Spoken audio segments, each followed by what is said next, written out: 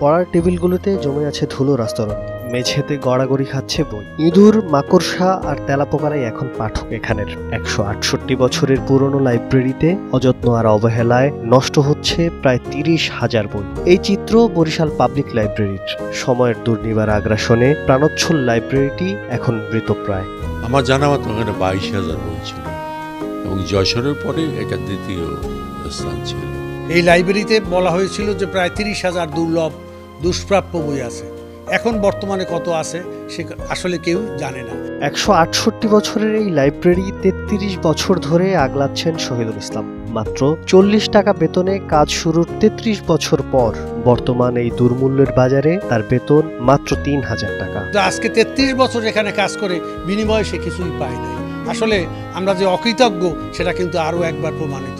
আমার এই যে বর্তমান বাজারে তিন হাজার টাকা বেতন দিয়ে আমার চলে না। ছেলেমেয়ে নিয়ে খুব কষ্টে আছি। আমি খুব মানবত জীবনযাপন করছি। আমার প্রধানমন্ত্রীর কাছে আকুল আবেদন আমার কিছু একটা করিয়ে দেন। বইয়ের জন্য এমন নির্মোহ ত্যাগ সচরাচর চোখে পড়ে না। এমন মানুষ যথাযথ পুনর্বাসনের মাধ্যমে পুরস্কৃত হওয়ার দাবিদার বলে মনে করছেন বরিশাল অর্থনীতি সমিতির সভাপতি কাজী মিজানুর রহমান। আমি মনে করি ওর একটা সম্মানজনক কিছু একটা হওয়া উচিত ছিল। এমন কিছু একটা ওকে কন্ট্রিবিউট করা উচিত সরকারের পক্ষ থেকে, এই লাইব্রেরির পক্ষ থেকে, যাতে ওর বাকি জীবনটাও বেঁচে থাকতে পারে।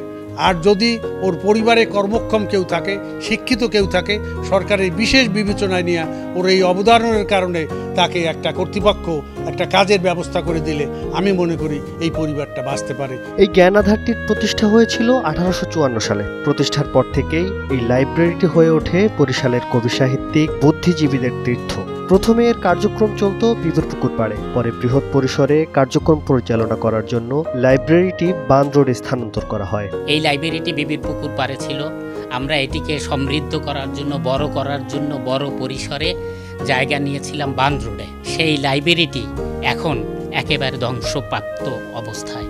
এই লাইব্রেরিতে আমি পড়াশোনা করতাম এই লাইব্রেরিতে এমন কিছু দুর্লভ বই আছে যে বইগুলো অন্য অনেক জায়গায় খুঁজে পাওয়া খুব কঠিন। লাইব্রেরি সভ্যতার ধারক বরিশাল নগরীর ঐতিহ্যের স্মারক পাবলিক লাইব্রেরি ধ্বংস হয়ে গেলে হারিয়ে যাবে বরিশালের সভ্যতার সুনির্দিষ্ট নিদর্শন। তাই পাবলিক লাইব্রেরি সংস্কারে প্রশাসনের প্রতি আহ্বান জানিয়েছেন সচেতন মহল। এসব দুষ্প্রাপ্য বই নষ্ট করে ফেলা অপরাধ বলেও মনে করছেন তারা। দীর্ঘদিন যাবৎ যেহেতু বইগুলোর কোনো তত্ত্বাবধান হচ্ছে না কেউ ব্যবহার করছে না সেহেতু বইগুলোর জুস ছুলে- ছুটে যাচ্ছে বইগুলো নষ্ট হয়ে যাচ্ছে বইগুলো অচিরেই ধ্বংস হয়ে যাবে।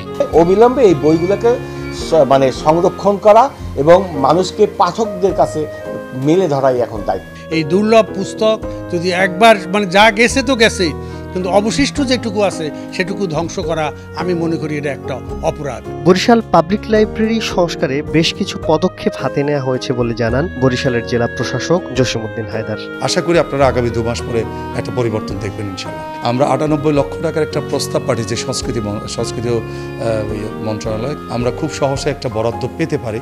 শহীদ অত্যন্ত মানবিক আহ, মানবেত জীবনযাপন করছে তার ছেলের একটি চাকরির ব্যাপার আমি চেষ্টা করছি, তার বেতনটি বৃদ্ধি করার জন্য পুরো কমিটিটির একটা মতামত দরকার। আপনারা জানেন যে এই কমিটির মতামত ছাড়া আসলে তার বেতনটা বৃদ্ধি করা বা তার সহযোগিতা করা যাচ্ছে না।